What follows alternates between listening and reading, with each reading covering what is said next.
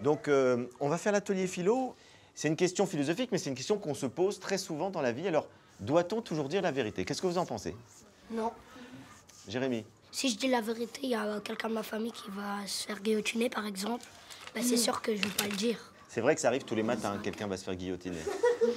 Alors, non, tu veux dire si quelqu'un va mourir. va mourir, faut pas lui dire. Voilà. C'est ça que tu veux dire? Et, et pourquoi faut pas lui dire? Faut pas lui dire parce qu'après, bah, elle va stresser, elle va se suicider avant de mourir. Donc, tu veux dire pour, pour la préserver C'est ça que Voilà. tu veux dire, d'accord.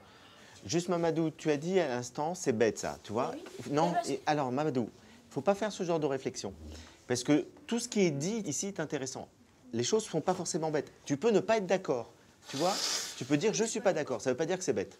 Donc dis je suis pas d'accord, ok? Je suis pas d'accord. T'es pas d'accord, pourquoi? Parce que euh, faut pas rester euh, tout petit, il faut euh, grandir, faut, faut que tu dises la, la vérité parce que c'est mieux de dire la vérité que de garder la chose. Donc je suis pas d'accord avec toi. Alors réfléchissez, Chut, chut, s'il vous plaît. Si, si le médecin il dit que tu vas mourir dans trois semaines, bah, bah, tu, bah tu vas profiter de toute ta vie, tu vas faire la fiesta. Si tu fais la fête comme ça et il te reste encore euh, une minute à vivre, bah, bah la, pire, chose que tu, la pire bêtise que tu veux faire de toute ta vie, tu prends une motocross, tu fonces sur une piste, tu fonces et il te reste deux secondes. De un, tu sautes euh, dans une cercle enflammée. Tu réalises ton fantasme suprême. Binta, Je suis désolée, Kalilou, mais c'est surréaliste. Il, te, il peut pas te rester une minute à vivre. Il te reste au moins un mois, un an ou même euh, une semaine. Me- parlez pas tous en même temps. Levez la main ceux qui veulent parler. Je vous pose la question. Alors, les bonnes raisons, vous l'avez un peu dit. Qu'est-ce qui serait une mauvaise raison de mentir? Pourquoi est-ce qu'on peut mentir pour des mauvaises raisons? Gianni Pour moi, faut pas mentir parce qu'un un, soir, j'avais des devoirs à faire et, euh, et j'avais oublié. Et mon père, il me dit Est-ce que tu as fait des devoirs? Je dis oui. Et euh, à la fin, il ouvre la porte de l'entrée et il me voit faire mes devoirs. Et donc, euh, après, il a rien dit. Il n'a rien dit, c'est-à-dire qu'il a su que tu avais menti. Oui. Et depuis, tu mens plus jamais.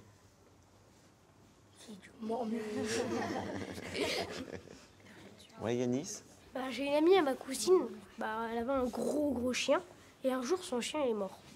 Et elle s'est dit, bon bah je n'ai pas le droit de l'enterrer, il faut que j'amène chez un vétérinaire, etc. Puis elle l'a mis dans une valise, une grosse valise. C'était super lourd. Elle est partie dans le métro. Puis après, à un moment, il y a un garçon qui fait, ah ouais, euh, euh, je peux vous aider? Mais le métro allait partir. Et elle fait, euh, ah oui, oui, euh, merci. Après, je fais, ah mais c'est lourd, qu'est-ce que vous avez dedans? Elle ne peut pas répondre, bah il y a mon chien mort qui est mort il y a, il y a 10 minutes. Elle fait, ah bah il y a les platines de mon frère. Je fais, ah Puis après, il a, il a pris la valise, il a sauté dans le métro, le métro est parti et il a volé la valise. Oh là là. Et, et du coup, elle s'est dit, purée, bah, quand il va ouvrir la valise, il va ouvrir, il va voir un chien mort. Elle s'est dit, elle s'est dit bah, ah, heureusement que j'ai menti, parce que sinon, euh, c'est bien fait pour lui. Quoi. Donc, il vaut mieux mentir qu'on a un cadavre dans une valise, hein, c'est ça Voilà. elle, elle est formidable, ton histoire. Elle est vraie, ton histoire, ou c'est un oui, mensonge non, c'est vrai. Oui, c'est vrai, c'est vraiment passé. Oui, Mamadou. Euh, là, celle-là, elle est plus drôle. En fait, c'est sans faire exprès. Mon père, il avait retiré un billet euh, de 500. Mais non, euh, tu Non, parce qu'on non peut-être. Non, je sais pas, c'était 20, c'était 20. Voilà, c'était c'était 20. Et moi, je suis partie prendre le billet de 20 dans son porte-monnaie. Je suis partie mettre ça à la poubelle. Et après, ma mère, elle est partie mettre à la poubelle. Et euh, au moment, où mon père, mon père il m'a dit, il est où le billet de 20 J'ai fait, c'est pas moi.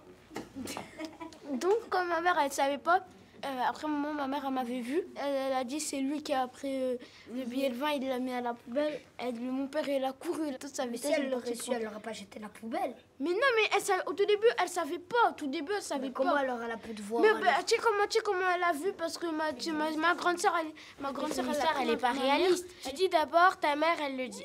Ta mère, elle le dit. Puis ensuite, ta sœur, c'est la sœur qui, qui dit à ta mère que, que en fait, mais On est, c'est en pas plein, réaliste. on est en plein mensonge, t'es d'accord avec Oui. moi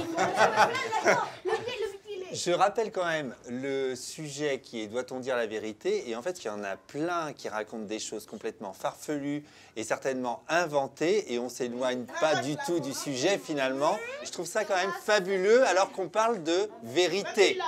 Ce qui est juste intéressant, c'est que vous avez tendance des fois à oublier certaines choses. Il y a eu des signatures de parents imitées ou des pages où il y avait des mots sur le carré de correspondance arrachés. Et de toute façon, à un moment donné, vous avez remarqué, ça se retourne toujours contre vous. Parce que moi, mon père, j'ai jamais signé dans mon, dans mon cahier, j'ai fait sa signature. Voilà, c'est juste un petit commentaire.